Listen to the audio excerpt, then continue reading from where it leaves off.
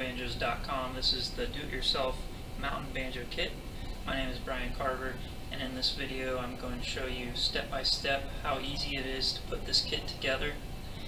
You don't need any special tools, you don't need a special workshop. All the work is done for you, just put it together and you'll have a fully playable instrument. So stick around until the end and I'll play a few songs for you so you can hear how great this instrument sounds.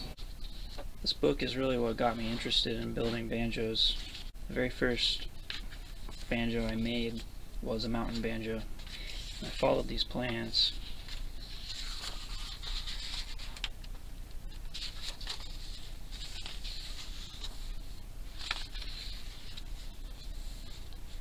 That's uh, Stanley Hicks. There's a Leonard Glenn the concept of a mountain banjo kit has been around for a very long time. This is uh, Dave Sturgill and looks like he had produced a mountain banjo kit. And this would have been probably in the 60s or 70s not sure when this was printed. Yeah this was published in uh, 73 1973 so my design is uh, pretty similar to like the Hicks mountain banjo or the Frank Proffitt mountain banjo. Really the only difference in my banjos, um, I don't include this middle wooden ring in the body. I, um, I only use two pieces of wood instead of three there. Here you can see. Uh, there's this inner rim and instead of that I'm I'm actually just routering out a channel in the top plate. So it, it serves the same function but it uses a little bit less material. It's easier for me to do as a kit. So definitely check this book out. Alright let's get to putting these things together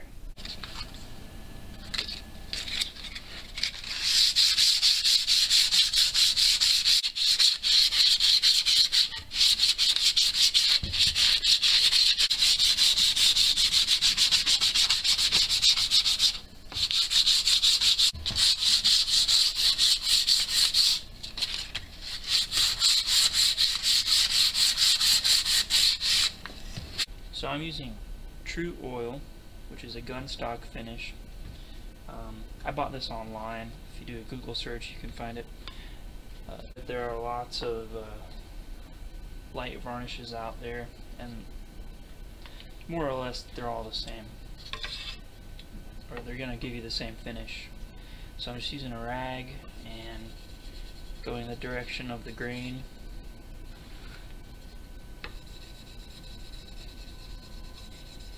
really light coats and I'm being careful not to get any oil in the peg holes. When you're varnishing the fretboard, there's nothing really special to it. You just uh, wipe it on thin. Really that's the trick with the varnish is just keep it thin coats and you don't have any problems.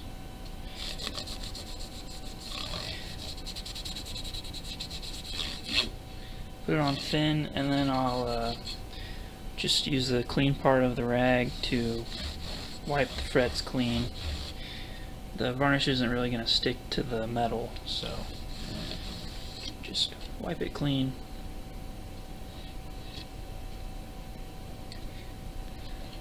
I'm only varnishing the outer surfaces. There's no reason to varnish the inside.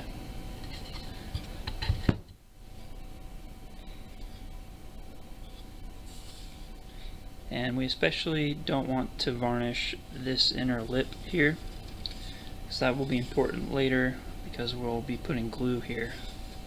We want it to be able to stick to the wood. So I'm just going to let this first coat dry three or four hours, then I will add the second and the third coats in the same way.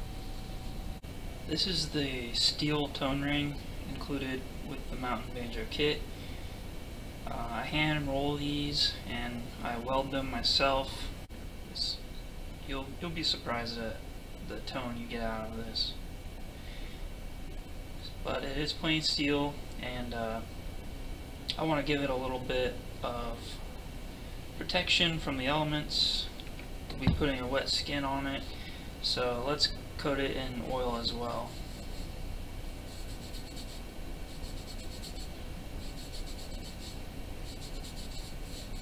Alright, so I've got three coats of oil on the banjo and I think it turned out really well. I didn't put a whole lot of time into it, but uh, I'm quite happy with the results. To put the skin on. That's going to be our first step in the assembly process. So we start with the top plate. Now, I'm doing all this on the floor uh, because this is the best place for lighting. And uh, just to show you, you don't need anything fancy to put this together. You don't need a workshop. You can just do it right on your floor. So this is the goat skin that comes with the kit. And uh, you have to soak it in water. Soak it in cold water for at least 30 minutes, up to an hour if you want. Um, never ever put this skin in hot water. I, I've had people boil their skins and I don't know why they decide to do that, but it ruins the skin. So don't put it in hot water. Um, I've already soaked mine here.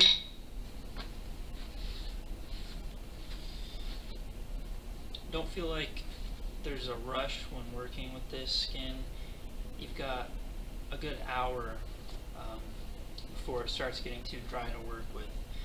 Find a lot of people kind of rush this process so they don't get good results.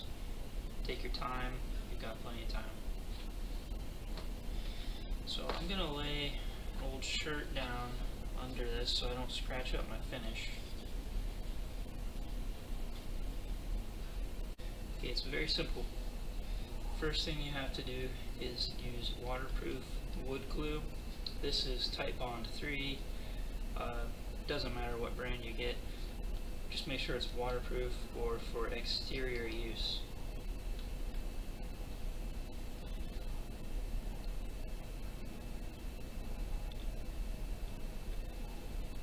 Putting a layer around this inner lip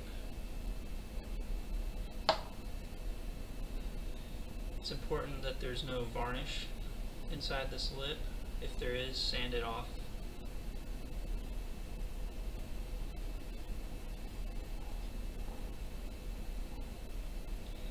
Because the glue stick very well to the varnish.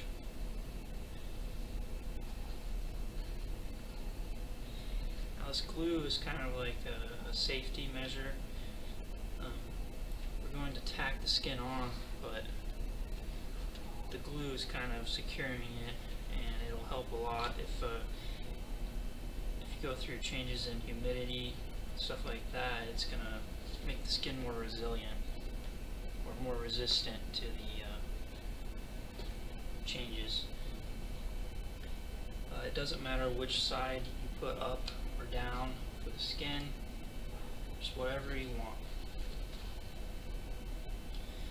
First we're going to lay the skin down like this.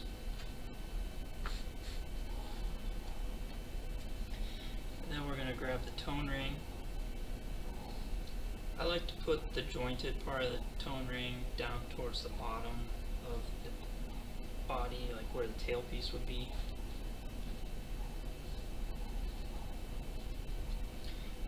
Now we take our top, or our bottom plate, we take our bottom plate and we kind of sandwich everything together and squeeze it. So you can see it's pushing the skin up. And that's kind of giving us a starting point for the tension of the skin. Alright, let's get these tacks in. So take the tone ring back out now that you've kind of found a starting place for the tension.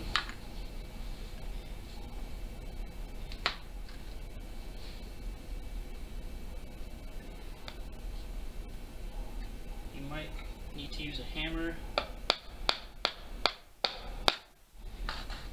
Just make sure the tack does not extend outside of this lip because that would interfere with the uh, tone ring.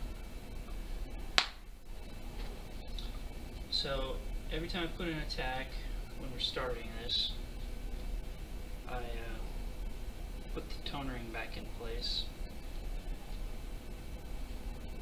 and check everything, check the tension. The first four tacks are really important they're going to be kind of setting the overall tension of the skin. So double check a lot, make sure you're see we can see that it's quite loose right here so I'm going to pull the skin up some more.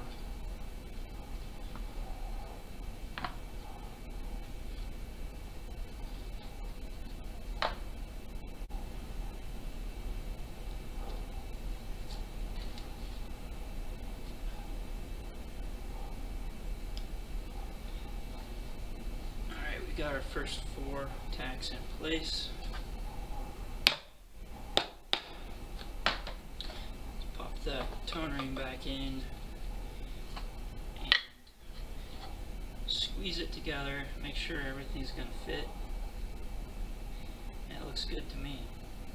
We've got enough, uh, enough room to play with. The rest should go in pretty easily. Now we've got the four corners and now I'm just going to put a tack. Um, we're just going to divide every section over and over again.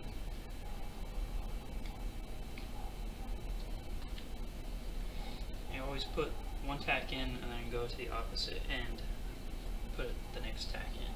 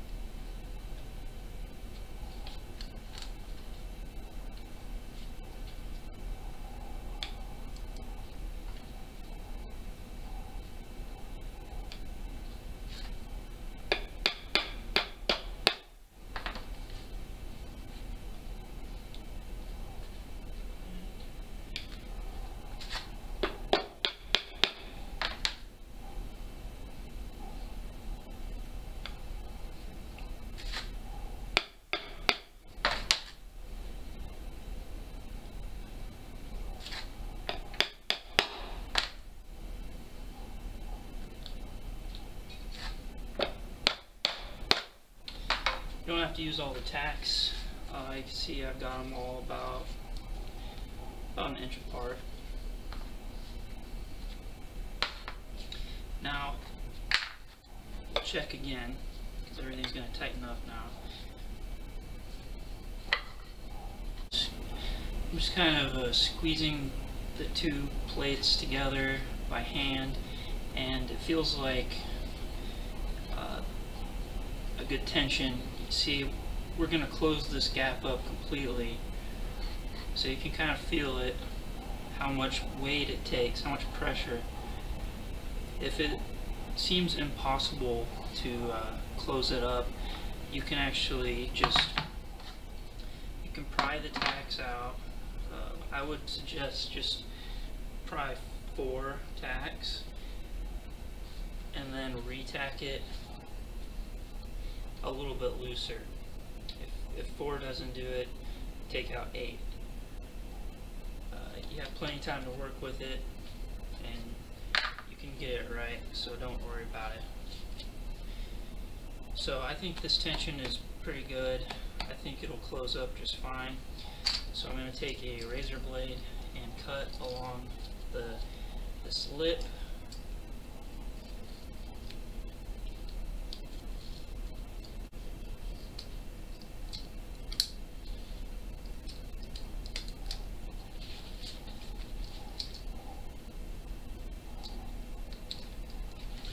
Alright, it's cut. Now we just want to be sure that the skin is cut and it's resting below the surface. You don't want it to be here because that will prevent you from fully closing up the instrument.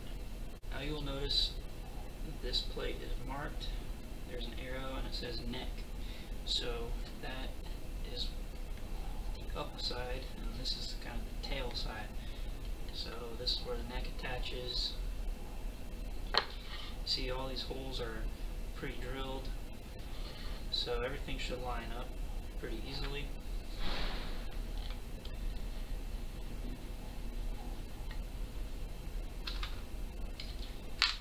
Almost forgot. Put the tone ring back in place.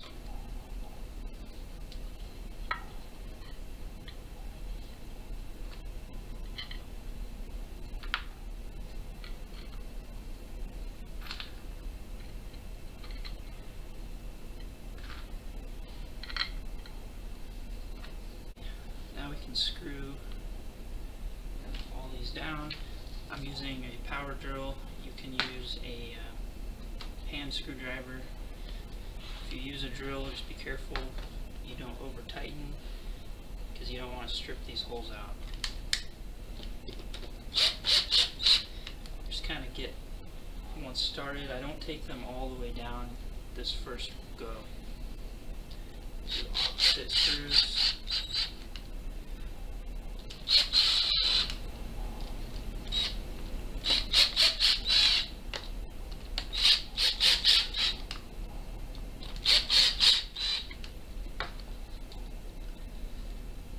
Okay, that looks good. There's no wrinkles. A little bit of glue. Just wipe that off. You see there's still a slight gap, so we're going to take all the screws down until it's fully closed. Helps to put some pressure on it.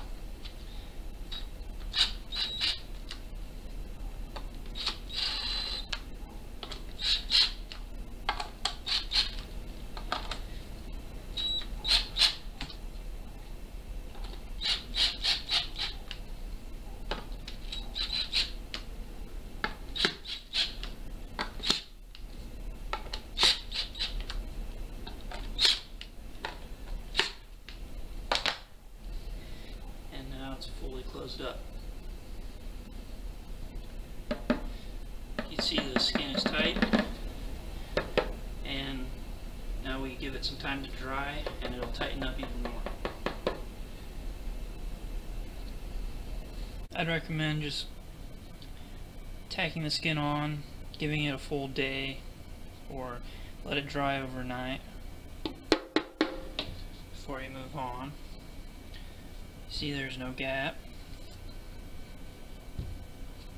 and no wrinkles. Now let's attach the neck. Just three screws. All the holes are already made.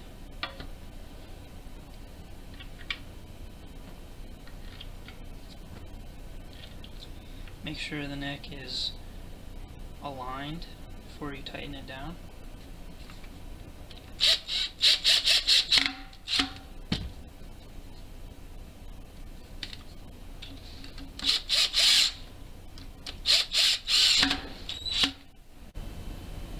Let's take a second to talk about the differences between the fretted neck and the fretless neck.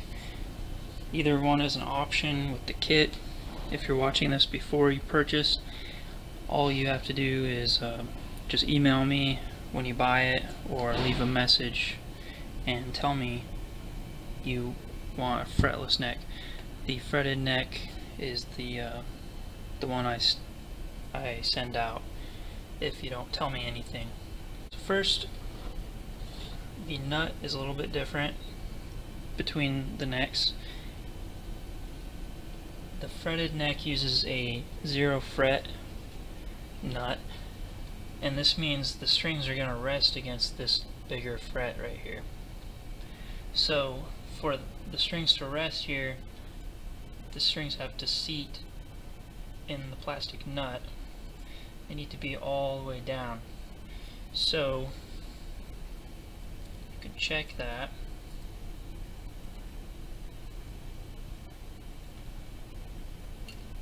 If you put your string in there and there's a gap between the string and the fret, you know you need to lower these grooves. Easy way to do that is just to fold a piece of sandpaper and use it like a file and you can get in there and bring the the grooves lower. And when you've checked all four of the grooves, you can glue the nut into place with a little spot of wood glue.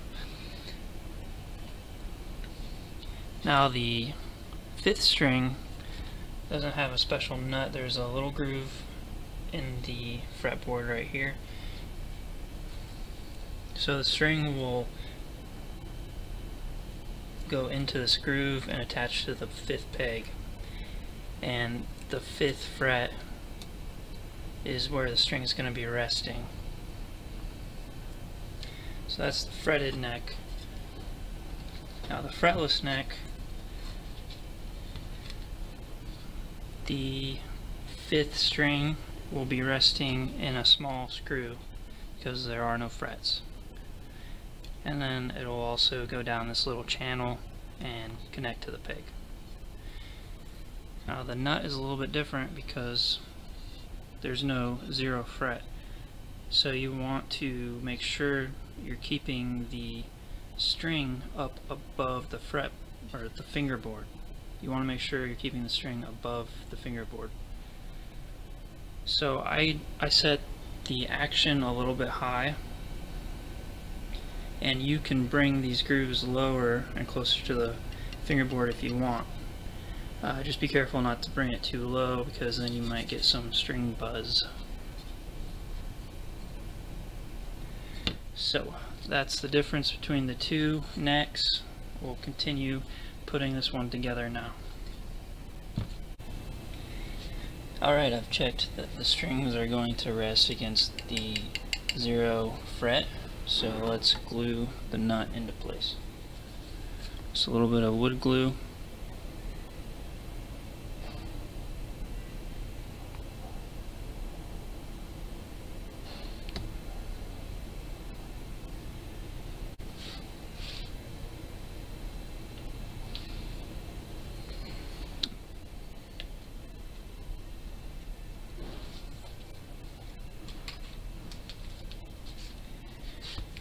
I'm going to clamp it. While we're waiting for this to dry, we can tie the strings onto the tailpiece. Now you can see the strings are all numbered, 1 through 5. On the tailpiece, we go right to left, 1, 2, 3, 4, 5. The fifth string is the thumb string when you're playing. Your right hand will be striking the fifth string. I have the fourth string here. Put it through the hole.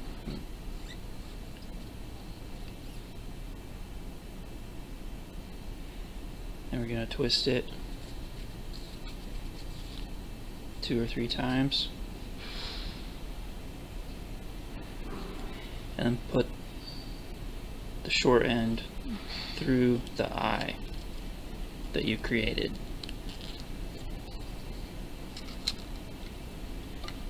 Basically a slip knot. If you have a better knot, go ahead and use it. I get a lot of questions about how to tie the strings onto the tailpiece and really tie it on as best you can. Uh, if, if you know some fishing knots, use a fishing knot. any no slip knot is how you want to do it. Got all five strings tied on.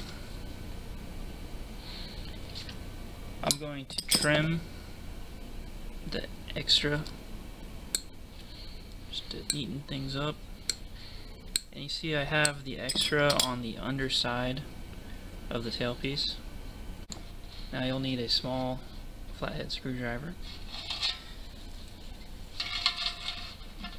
There are two pre-drilled holes in the body already. Keep in mind these are brass screws, so they're they're softer than steel. And if it seems too hard to uh, screw them in, don't force them because you might snap them. Uh, they should fit fine, but if if not, you can re-drill the the pilot holes a little bit bigger if you need to.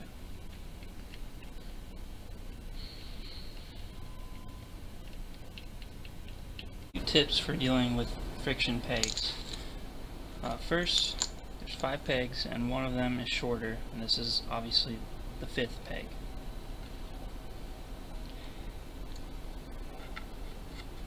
Now you'll see the peg doesn't go very far into the hole and I do this on purpose because we know that uh, over time it's going to be compressing the wood around it and it will work its way up over time so that's what I had in mind when I made these fit so tight now right off the bat if you want you can rub a little bit of bar soap on the peg just right here then when you put it in the hole, uh, it'll be lubricated and it'll actually go farther up in the hole.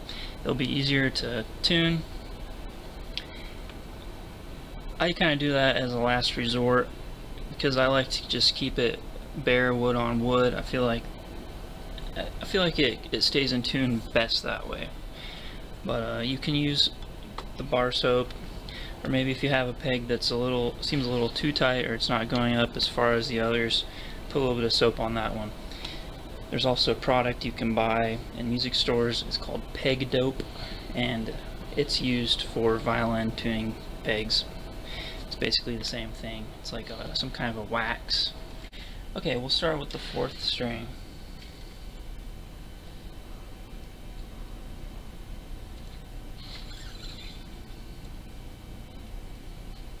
Now, I put the string through the hole in the peg and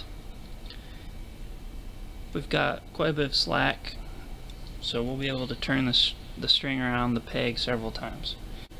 With this index finger here I am pushing the string down and that's very important because if you don't this the string will want to pop off the peg so you have to always guide it down and when I wrap a string I go over the top one time and then I go under the rest. And I'm always guiding it down.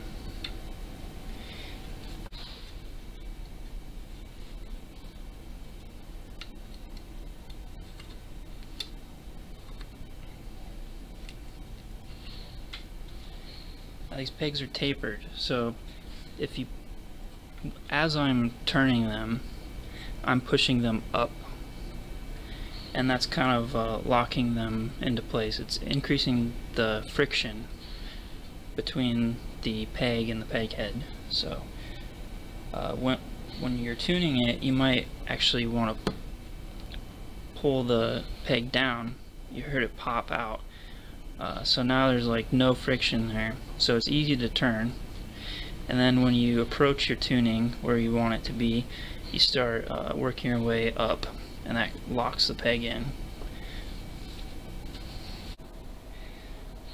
Okay, now for the fifth string. See, we're just going to rest the string in that channel, a little groove.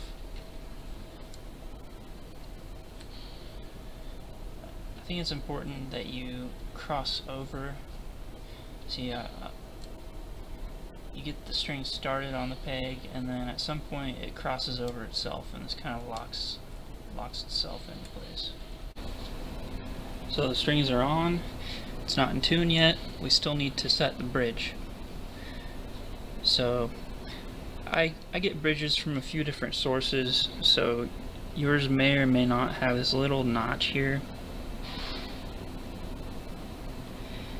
And that notch is basically to help a fretted banjo intonate properly.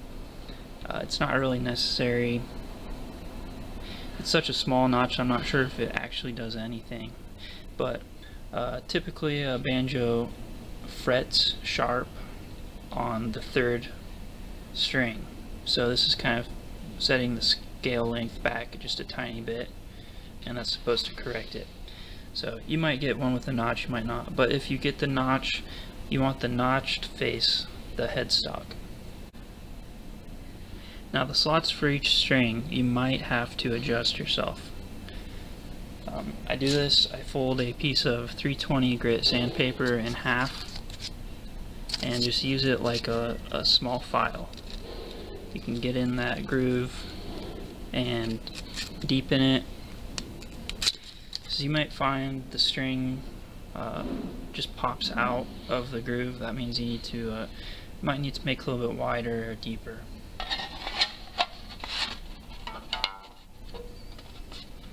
To determine exactly where the, the bridge goes, you don't really even have to use a ruler, but it's a good starting point.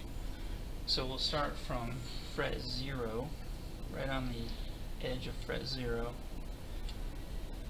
and 24 and 13 sixteenths. So that's about 24 and 3 quarters. So start there. Sounds about right. Might be a little bit sharp, so I'm going to move the bridge this way. There, I think we found it. So that's the spot. I'm going to keep the bridge and you can mark it with pencil if you want. Now you can tune it up to the key of G like a standard banjo or you could tune it a little bit lower if you want, a step or two lower. I usually just tune it to whatever I think sounds good.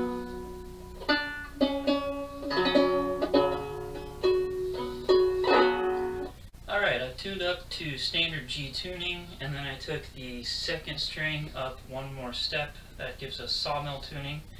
I'm going to play The Cuckoo, and it was made popular by Clarence Tom Ashley. It's a really old folk song that came to America from Europe.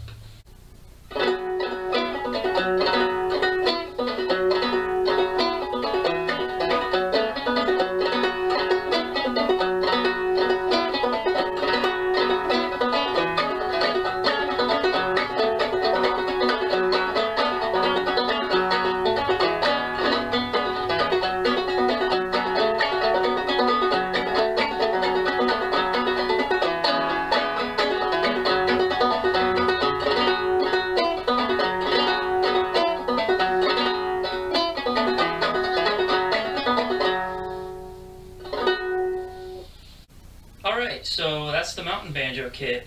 So thanks for watching and I hope this uh, helps you on your banjo building process. I hope this gives you some ideas, some inspiration maybe, and uh, or maybe it helps you in deciding if you want to buy one of my kits.